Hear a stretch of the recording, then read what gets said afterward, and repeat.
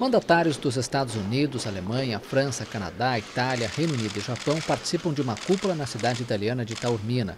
Os líderes do G7 pediram nesta sexta-feira para que as grandes empresas que dominam a internet se envolvam mais no combate a conteúdos extremistas. Em um comunicado, os sete países do grupo pedem aos provedores de internet e às redes sociais que aumentem substancialmente seus esforços para resolver o problema dos conteúdos terroristas. Na pauta do encontro das potências econômicas estão, além do terrorismo, o protecionismo econômico e as mudanças climáticas. O encontro é considerado chave para medir os efeitos da administração do presidente dos Estados Unidos, Donald Trump, e para confirmar se o americano vai cumprir com as promessas contra o Acordo de Paris para reduzir as emissões de carbono.